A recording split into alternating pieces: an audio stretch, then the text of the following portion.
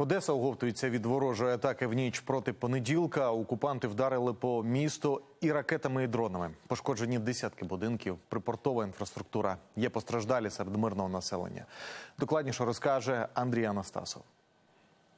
Величезна вирва просто посеред вулиці у самісінькому центрі Одеси. Сюди прилетіла російська надзвукова ракета типу Онікс. Місто ворог атакував у неділю о 9 вечора. Зазвичай у вихідний день тут велелюдно. Гуляют с собаками. Гуляють із собаками, гуляють із дітьми. Поруч Приморський бульвар, трамвайна зупинка. До того ж, ми тут постійно стоїмо на вулиці. Можемо просто стояти, пити каву і розмовляти. Я не знаю, як так сталося, що нас не було. Це просто випадковість.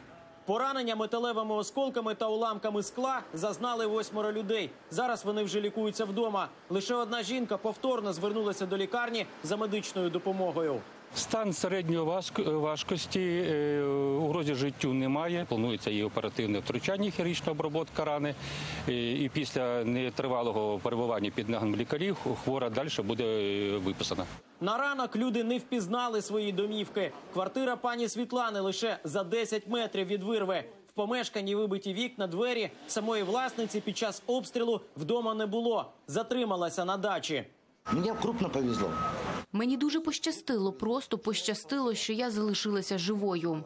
Адже інакше я могла бути біля вікна у цей момент, чи елементарно могла просто ходити по квартирі, і тоді був би летальний кінець. Загалом постраждало понад три десятки житлових будинків. У їхніх власників зараз чиновники збирають заяви, оформлюють акти про пошкоджене майно, щоб люди могли отримати відповідну компенсацію.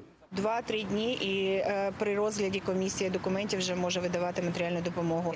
Додатково працюємо з мешканцями, розповідаємо і роз'ясняємо, яким чином ще податись до є відновлення знову ж таки для отримання допомоги. Серед постраждалих будівель шість пам'яток архітектури охоронної зони ЮНЕСКО, в тому числі Одеський національний художній музей, якому саме в понеділок виповнилося 124 роки.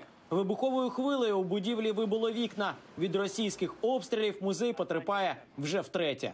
Скло е, потрапило всередину е, експозиційних залів.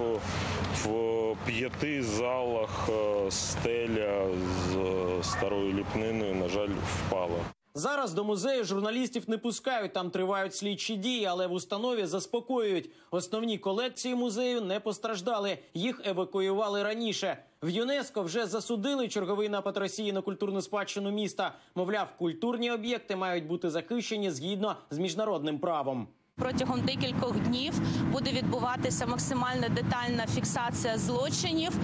Це як е, представники міста, так і представники міжнародних організацій для подальшої передачі як доказової бази е, злочинів е, Російської Федерації.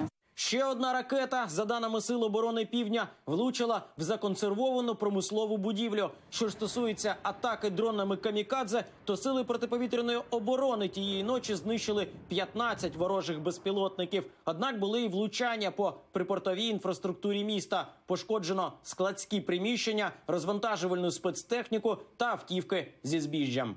З Одеси Андрій Анастасов, Ігор Міханошин. Подробиці телеканал Інтермарафон. Єдині новини.